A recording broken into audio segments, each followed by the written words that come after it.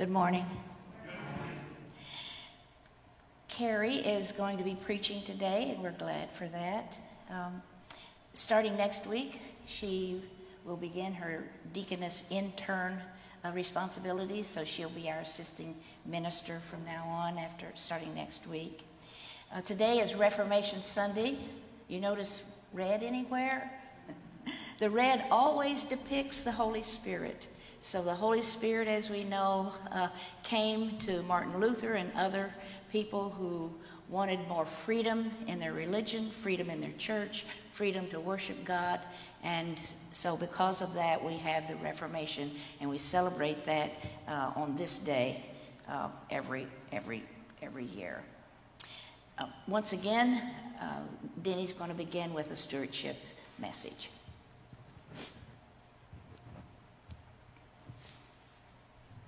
Good morning. Praise God, from whom all blessings flow. Praise him, all creatures here below.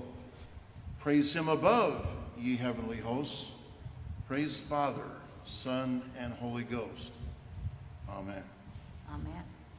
We know this as the words of the doxology. It's a hymn of thanks, a praise to God, whom all blessings flow. Today, this is our second and final stewardship talk. And as we mentioned last Sunday, this is the time of year where we especially look at the, the harvest. As you drive around the countryside, you'll see that taking place. And it's during this time of the harvest that we are brought to think of our blessings and the things that God has given us. And we want to take time and give thanks for all of those blessings because it is from God that all things come. As we think of that, we want to take just a little time to consider our blessings and then to consider our thanks to God. And one way of doing that is through our giving, and that involves our looking ahead to next year and doing our pledging and our, our planning. So I would ask you as you consider your pledge, your thanks to God, that you take time to count your blessings and then look toward the information and the questions that are asked on the commitment card. Commitment cards can be hard mailed in, they can be emailed in, directed to the financial secretary so that we don't go through different channels. It's going directly to one person. We want to keep confidentiality. They can be dropped off inside in the box as you come in of a morning. If you're uh, attending in person, you can do that as well. Or you could drop it off at the church and we'll put them away, make sure that they're kept safe and, and secret. But as you consider the pledge, I know the, the pledge card mentions on it that we would like to return by November 15th. I would encourage you to make it by next Sunday, November the 1st because that gives our financial or our budget committee enough time to consider that as we put our budget together for 2021 and we're able to present that at the November uh, council meeting.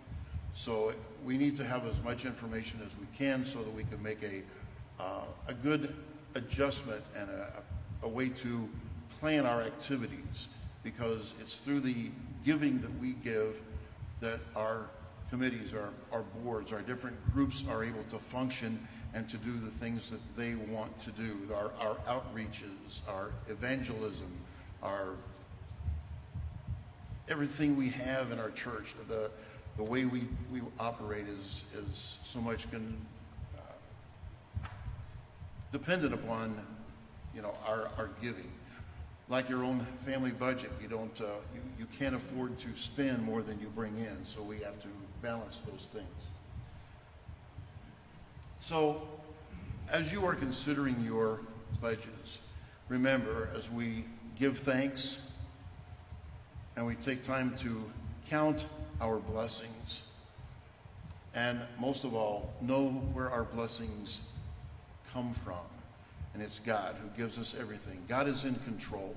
Whatever the world is doing this day and whatever situations are taking place in our country and in our world, God is in control. He is there. He provides daily for us.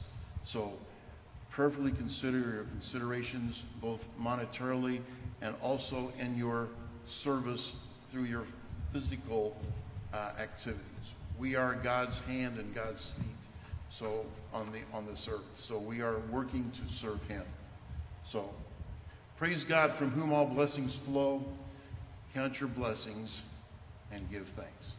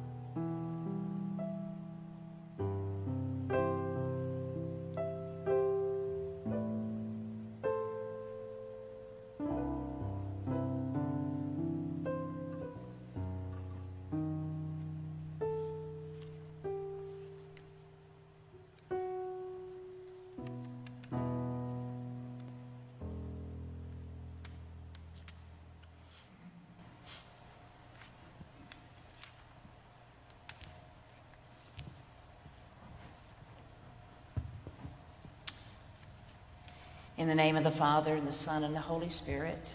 Amen. Beloved in the Lord, let us draw near with a true heart and confess our sins to God our Father, imploring Him in the name of our Lord Jesus Christ to grant us forgiveness. Our help is in the name of the Lord. who made heaven and earth. I said, I will confess my transgressions to the Lord. And you forgave the iniquity of my sin. Almighty God, merciful Father, I, a troubled, troubled and penitent sinner, confess to you all my sins and iniquities with which I have offended you, and for which I justly deserve your punishment. But I am sorry for them, and repent of them, and pray for your boundless mercy. For the sake of the suffering and death of your Son, Jesus Christ, be gracious and merciful to me, a poor, sinful being. Forgive my sins. Give me your Holy Spirit for the amendment of my sinful life, and bring me to life everlasting. Amen. In the mercy of Almighty God, Jesus Christ was given to die for you, and for his sake, God forgives you all your sins. To those who believe in Jesus Christ, he gives the power to become the children of God and bestows on them the Holy Spirit. Amen. I was glad when they said unto me, Let us go to the house of the Lord. I was glad when they said unto me, Let us go to the house of the Lord. Unless the Lord builds the house, In vain do the builders labor. unless the Lord builds the house, In vain do the laborers builder. surely the Lord is in this place. This is the house of God. This is the gate of heaven. Surely the Lord is in this place. This is the house of God. This is the gate of heaven. Oh, come, let us worship. Oh, come, let us worship.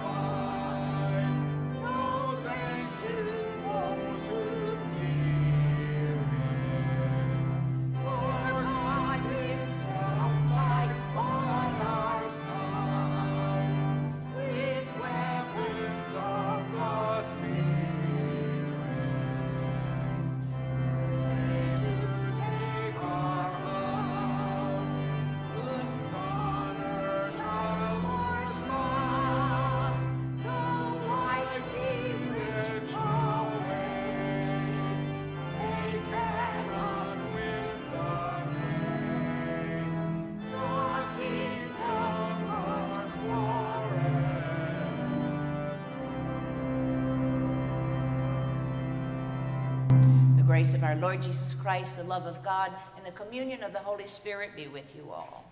And also with you.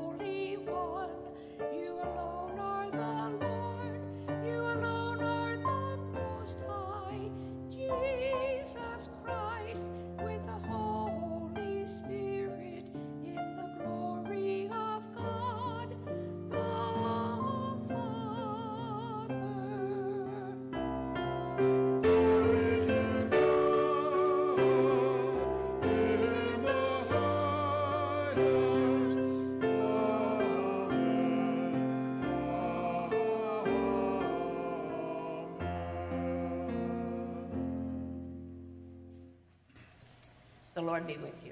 And also with you. Almighty God, gracious Lord, we thank you that your Holy Spirit renews the church in every age. Pour out your Holy Spirit on your faithful people. Keep them steadfast in your word. Protect and comfort them in times of trial. Defend them against all enemies of the gospel. And bestow on the church your saving peace. Through Jesus Christ, our Savior and Lord, who lives and reigns with you in the Holy Spirit, one God, now and forever. Amen.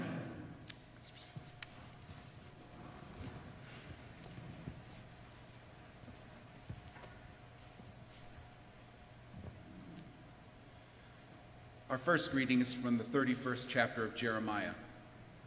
The renewed covenant will not be breakable, like the old covenant, it will expect the people to live upright lives. To know the Lord means that one will defend the cause of the poor and needy. The renewed covenant is possible only because the Lord will forgive iniquity and not remember sin. Our hope lies in a God who forgets. The days are surely coming, says the Lord, when I will make a new covenant with the house of Israel and the house of Judah. It will not be like the covenant that I made with their ancestors when I took them by the hand to bring them out of the land of Egypt. a covenant that they broke, though I was their husband, says the Lord. But this is the covenant that I will make with the house of Israel after those days, says the Lord. I will put my law within them, and I will write it on their hearts, and I will be their God, and they shall be my people.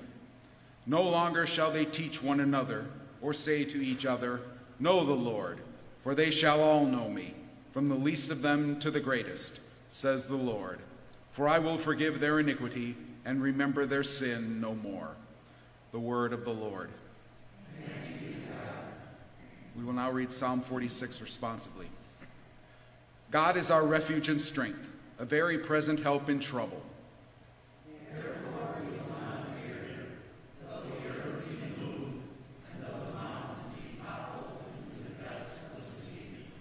Though its waters rage and foam, and though the mountains tremble at its tumult.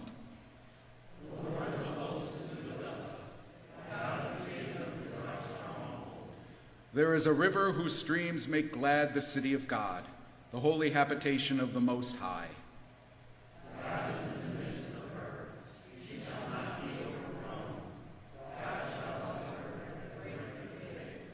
The nations make much ado, and the kingdoms are shaken. God has spoken, and the earth shall melt away.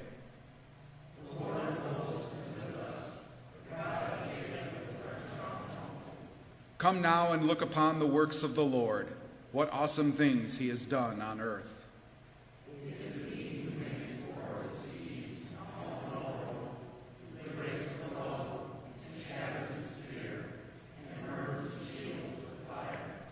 Be still then, and know that I am God. I will be exalted among the nations, I will be exalted in the earth.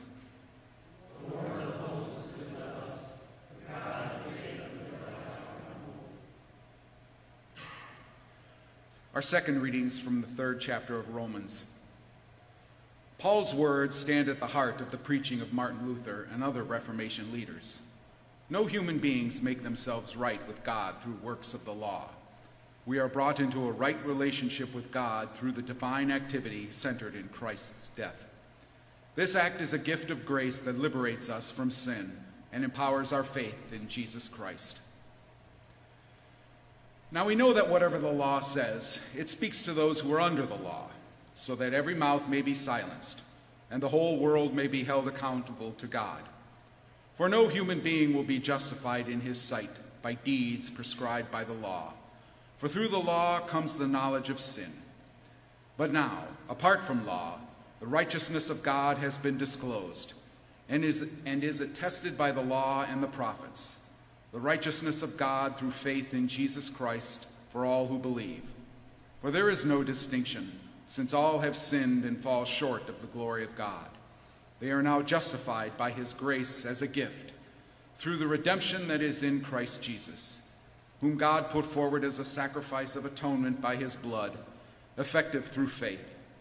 He did this to show his righteousness, because in his divine forbearance he had passed over the sins previously committed it was to prove at the present time that he himself is righteous and that he justifies the one who has faith in Jesus. Then what becomes of boasting? It is excluded. By what law?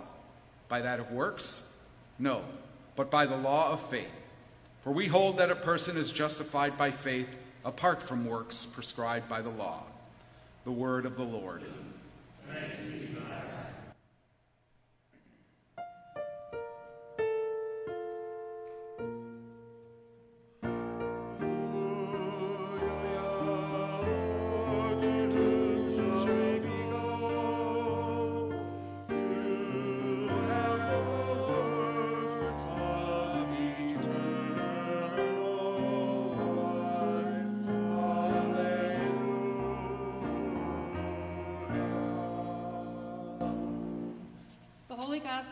According to John, the eighth chapter.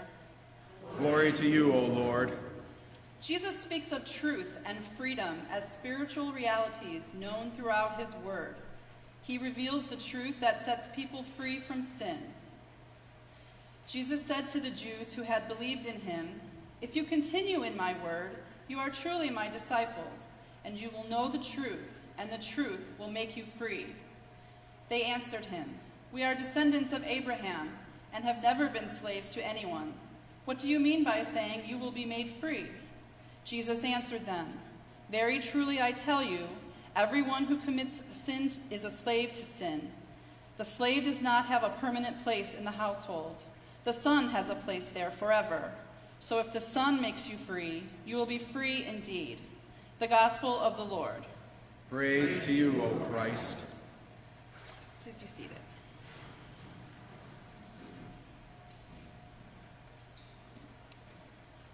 Today's New Testament lesson from Romans about justification by grace through faith is a very fitting text for Reformation Sunday. But some of the scriptural commentary I came across this week suggested that there might be some danger in that, however.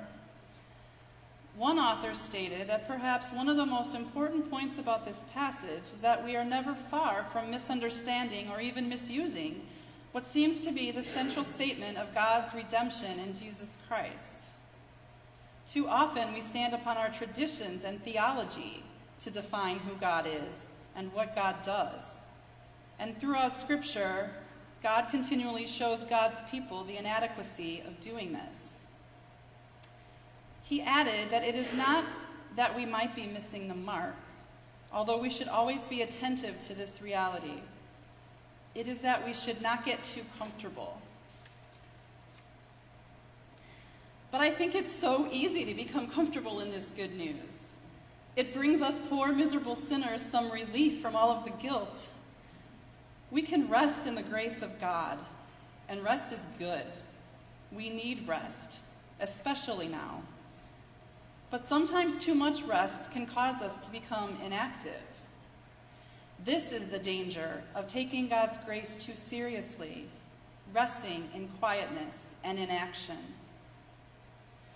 A few years ago, I believe it was the year of the celebration of 500 years of the Reformation, Pastor Scales led us in a book study of Martin Luther and the called life. The book includes a whole chapter on our vocation as citizens. Faith and politics, the cringeworthy stuff we do not like to talk about. Because they speak to matters we hold dear to our hearts, we avoid talking about faith and politics and keep our opinions to ourselves, lest we have those impassioned, non dinner table voice conversations like I spoke about in my homily last month. We have a vocation to be involved in the world. Our calling as citizens does not offer us the luxury of keeping our opinions to ourselves. Martin Luther makes clear our vocation as citizens, and he says this includes politics. In today's contentious climate, maybe there's a better term to use instead of politics.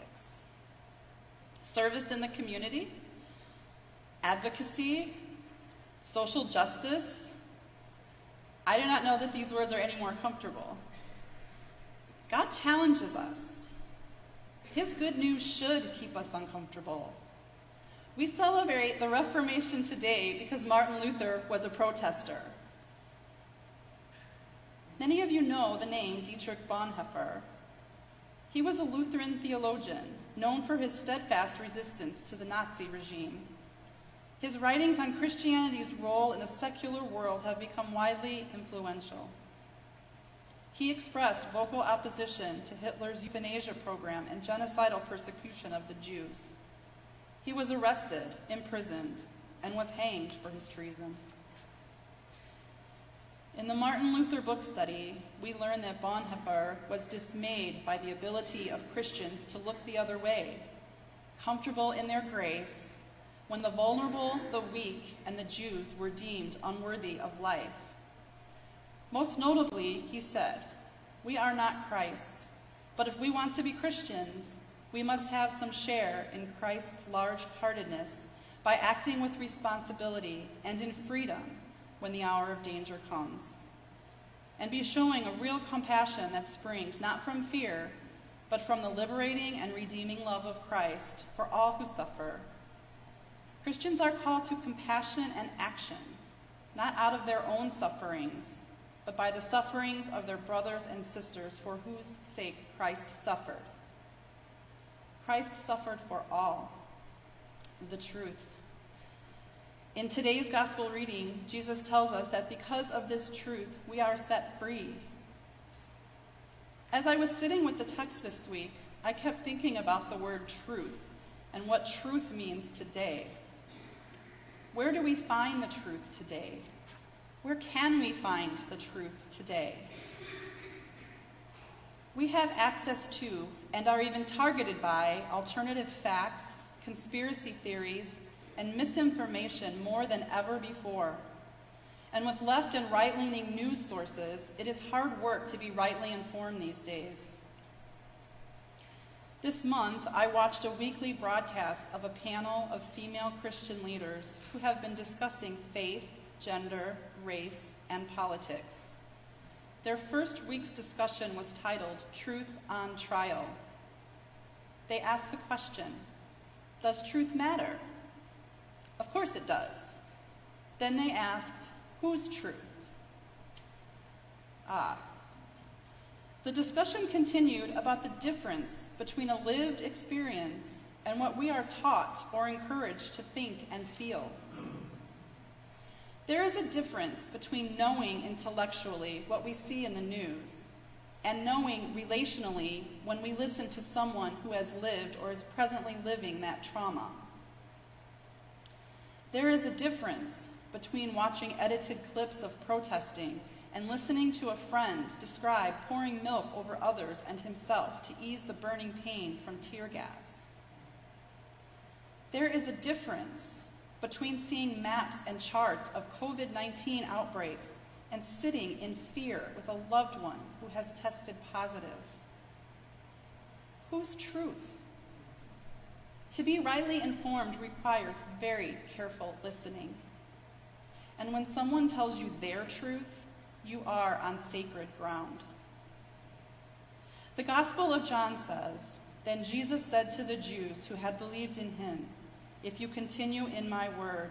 You are truly my disciples, and you will know the truth, and the truth will make you free. Free from sin, free from fear, free to serve, free to abide uncomfortably in his word. When we meet one another where they are, as they are, in kindness and with compassion, we are truly greeting Jesus. Thanks be to God when we know Jesus tells us his truth, for freedom is ours. Thanks be to God for grace. Amen.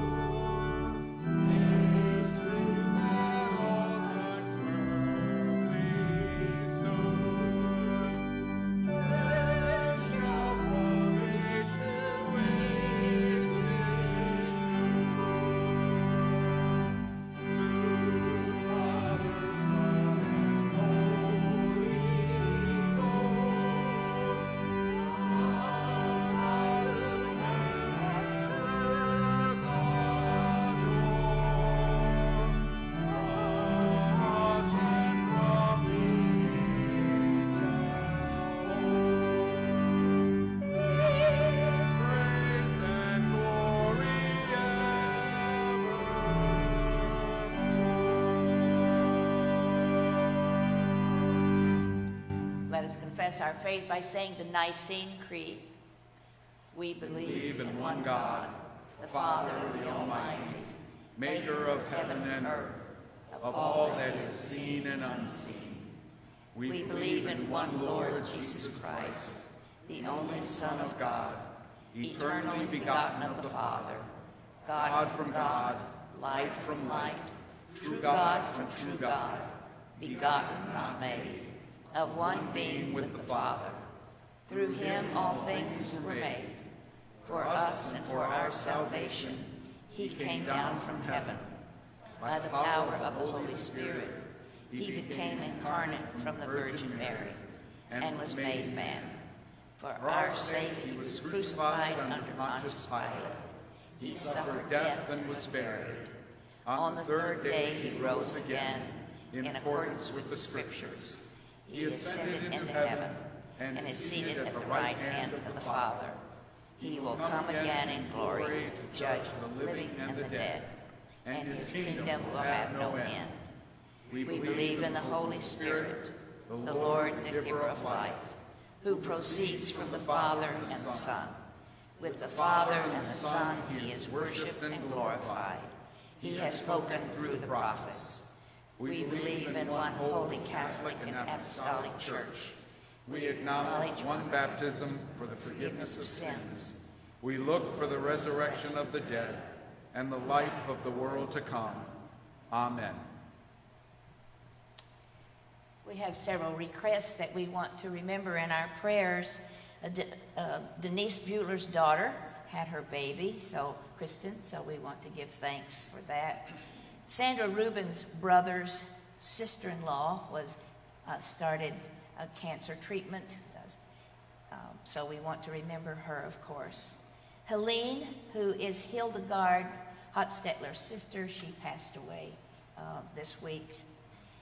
And we want to remember Leanne, who had surgery, and also Kathy, who has started her treatment. And uh, I'd like for you to remember my brother John, uh, who's going to be having heart surgery. It's, it always means something to him, being in Houston, that he has someone praying for him in Indiana. So we want to, he, he was very thankful for that. With confidence in God's mercy and grace, let us pray for the church, the world, and all those in need. Renew and inspire the church in the freedom of the gospel, O God. Where the church is in error, reform it. Where the church speaks your truth, strengthen it. Where the church is divided, unify it. Ignite in us the working of the Holy Spirit. Lord, in your mercy. Hear our prayer. As the earth changes, as mountains shake and the waters roar, may we care for this planet as a holy habitation for all living things. Sustain all peoples and lands recovering from natural disasters of any kind. Lord, in your mercy. Hear our prayer. Guide areas of the world divided or traumatized by conflict, especially in our own land. Free all from slavery and human trafficking, and protect all in harm's way. Lord, in your mercy. Hear our prayer. Release those living in bondage to debts, chronic pain, or addiction. Grant healing touch to those who are ill, especially those we name now, either silently or aloud.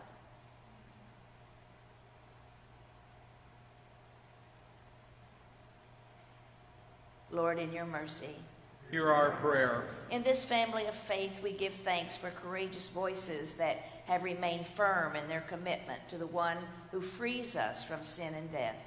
Centered in your grace, unify us in the hope of the gospel. Lord, in your mercy.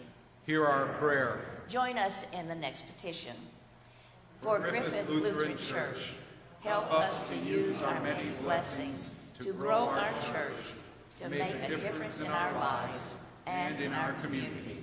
Help us that we may grow Christ-centered relationships in our communities through love and service. Lord, in your mercy. Hear our prayer. Even in death, you free us and give us a place in your house. We give thanks for our ancestors who have shown us truth and freedom, especially Martin Luther, and those who work for the renewal of the church. Lord, in your mercy. Hear our prayer. Listen as we call on you, O God, and enfold in your loving arms all for whom we pray. In the name of Jesus Christ our Lord. Amen. The peace of Christ be with you always. And also with you.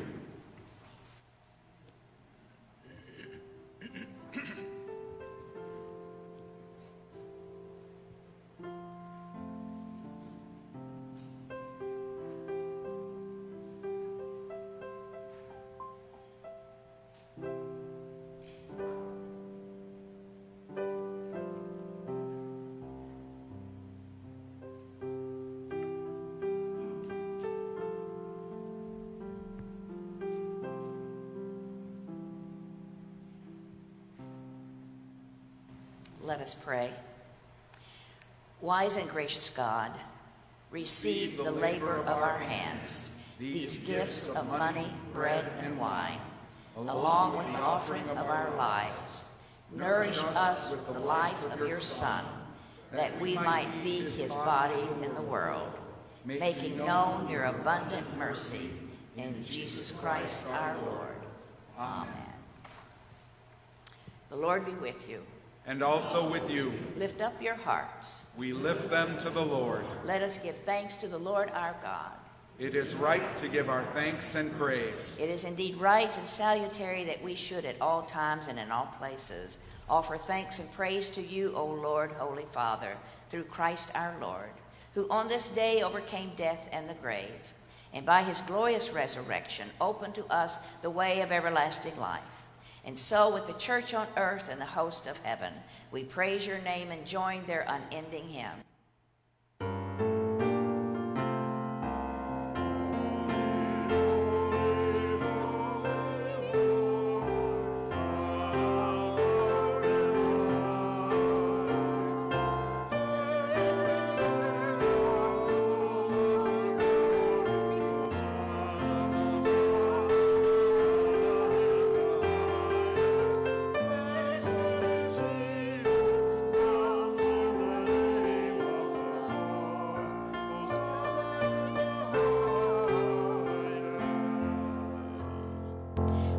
Are you, Lord of heaven and earth, for you have had mercy on us and given your only begotten Son, that whoever believes in him should not perish, but have eternal life. We give you thanks for the redemption you have prepared for us through Jesus Christ. Send your Holy Spirit into our hearts to establish in us a living faith and prepare us joyfully to receive our Redeemer who comes to us in his body and blood. Our Lord Jesus Christ, on the night in which he was betrayed, took bread.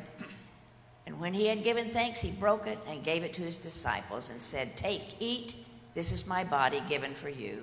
This do in remembrance of me. In the same way, he also took the cup after supper. And when he had given thanks, he gave it to them, saying, Drink of it, all of you.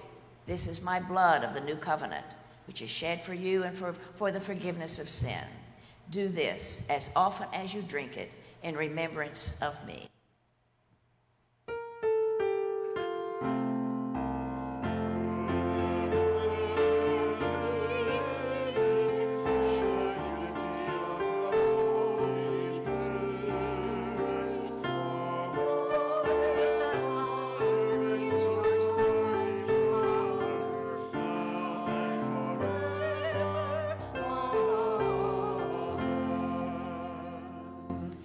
Gathered into one by the Holy Spirit, let us pray as Jesus taught us.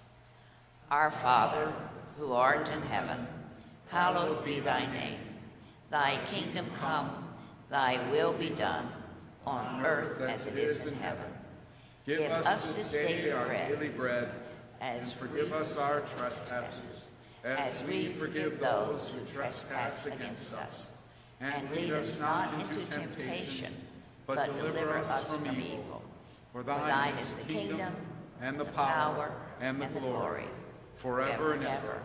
Amen. Friends of Jesus, come to the table, receive nourishment for your journey.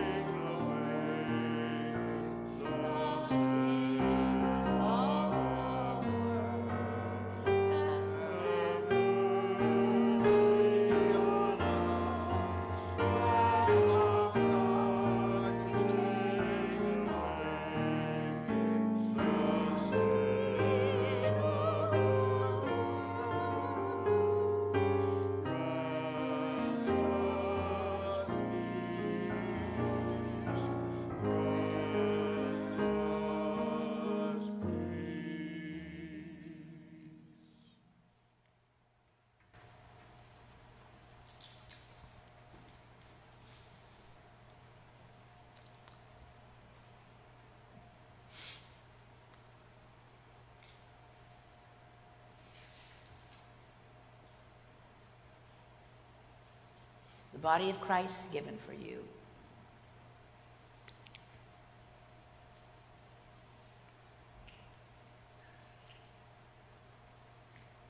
The blood of Christ shed for you.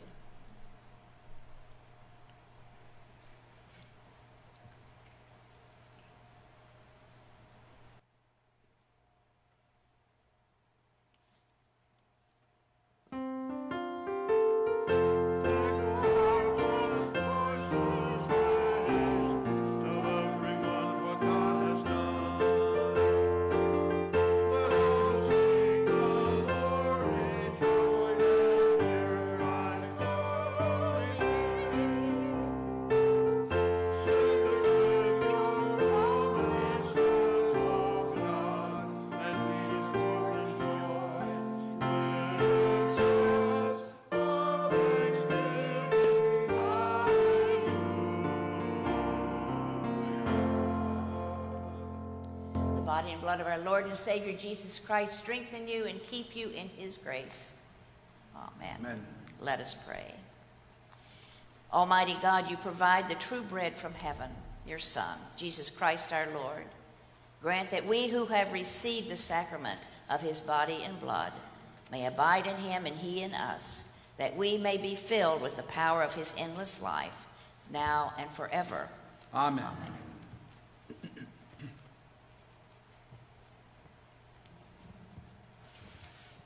I think you would agree with me. I think our flowers have been gorgeous, don't you?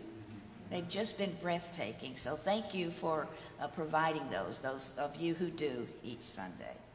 Uh, remember, our prayer vigil will be um, on November the 3rd from 6 a.m. to 6 p.m. We still have uh, some spaces that we'd like for you to fill. And the uh, committee would prefer, if, if at all possible, that uh, if you would turn in your commitment cards before next Sunday, it would help them uh, to determine our budget and, and what we would what we see in the future. So if if, if you can uh, do that, the cards are out here. There's one if you received an email, you can print that out and and bring it in or send it in or uh, however you would like to do it. As I said, the orange, orange cards are out here, and you can put them in the box. So it would be helpful if you if we could have that before next Sunday, November the first. Please stand. And thank you, Carrie. Thank you very much. Very meaningful. People of God, you have been called to be disciples of Christ. Whatever you do in word or deed, do everything in the name of the Lord Jesus, giving thanks to God through him. The Lord bless you and keep you. The Lord make his face shine on you and be gracious unto you. The Lord look upon you with favor and give you peace. Amen.